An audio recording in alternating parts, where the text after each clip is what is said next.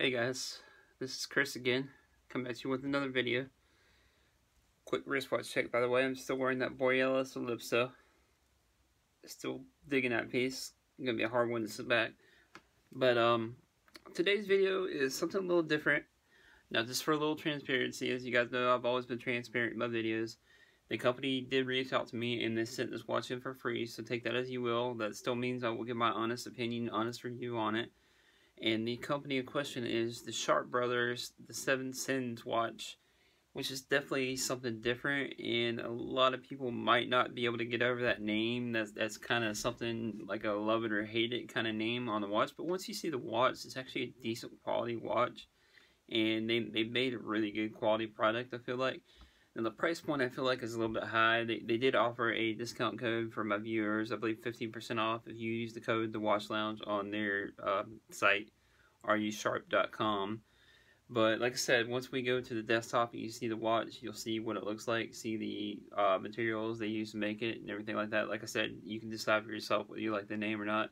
Not something I would normally, I mean, go for myself. Not not really my style, but the, the, it is, like I said, it is a clean watch and definitely something worth looking at. Just just like I said, like with the Franck Muller I just did. You know, I like to show you guys a little bit of everything. But um, we'll go to the watch in question here. Here's the watch in question, the box. Nothing too crazy. I think mine just got a little damage in shipping, but I don't think they all come like that. But um, here's their logo there, the company logo, Sharp Brothers. Embrace or rebel against seven sins. Here's their Instagram info and their Facebook info just to find where they're at to show you what it is. Came with a decent little travel case here. Pretty nice little travel case. Definitely use that. Like I said, here's Sharp Brothers, the company logo. Like I said, this is definitely kind of a divisive watch. It's kind of either a love it or I hate it name. It's definitely different. Uh, if you guys know Aaron Dunlap, his channel, he just did a review on this one. This one is 42 millimeter lugs, 22 millimeter or 22 millimeter lugs. Excuse me, guys. 42 millimeter case diameter sapphire crystal.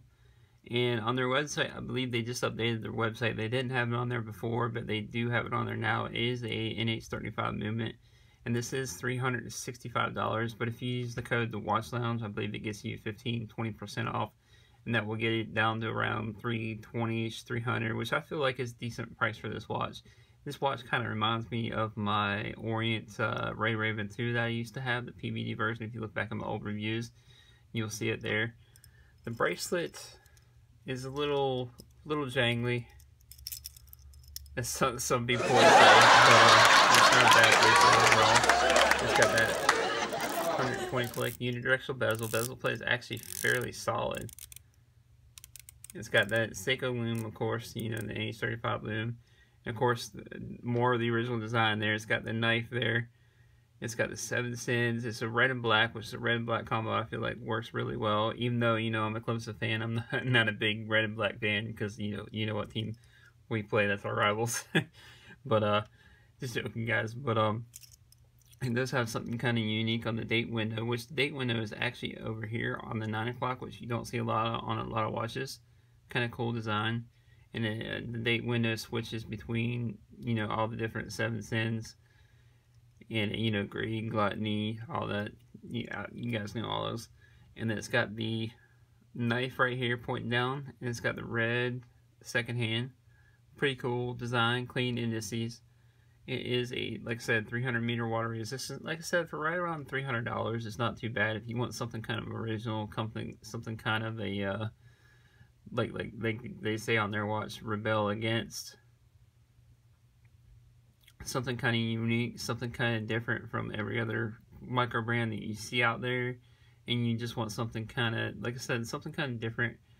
Definitely go for this one. Like i said that honestly this is not normally my style. Not nothing against it. It's just nothing i would honestly go for but they sent it out. They reached out to me, so I figured I'd look at it, take a look at it, and let you guys know what I think about it. Like I said, I like to show every kind of different watch.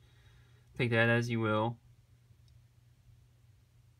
Just want to give my honest opinion, but like I said, overall, the quality on this is really, really good. Past the name and everything like that. it's it's a really good quality watch. Like I said, it's it's decently made, and you can tell the thought that went into it. It's not just some cobbled up together watch. And it does come. They sent the stickers. Pretty cool little sticker with a knife there. You got the rose. I believe one of the owners, Steven, I believe that I've been talking to, is a graphic artist, I believe. So that's where they get something inspiration for the watch. And it does come, I've worn this on some other watches. I hadn't put it on this one yet, but I probably will wear it on this one. This red and black NATO. Pretty comfortable NATO. Like I said, I've worn on some other some other watches, my Seikos and stuff like that. I've worn on. But I will definitely probably switch this out. The bracelet, I, I do need to resize the bracelet. Speaking of which, another thing it came with sizing tools, which is pretty cool. You can resize the bracelet with that something not a lot of watch companies offer. Put something kind of unique. And it does have their own logo there. The glass is pretty decent. But like I said, this is uh, what it looks like I on my 7 this wrist. I'm definitely going to have to uh, take some links out. But overall, you get the fit and feel, the finish on it right here. Like I said, it kind of wears similar to uh, Seiko SKX, something along those lines, or Orient Ray, to, Ray Raven 2 something along those lines. Like I said, definitely quality wise, I can definitely see this is probably a little step above the Orient Ray Raven, but it is also a little more expensive. But like I said, if you want something kind of different and unique from all the other micro brands out there, this is definitely unique design. Dare I say, I'm already gonna get demonetized before I even get monetized. Ballsy to name a watch go for this one. But anyways, guys, this has been Chris with a Seven Sins by Sharp Brothers watch review. Let me know what you guys think down in the comments if you haven't already. Like, subscribe, comment down below. All right, peace.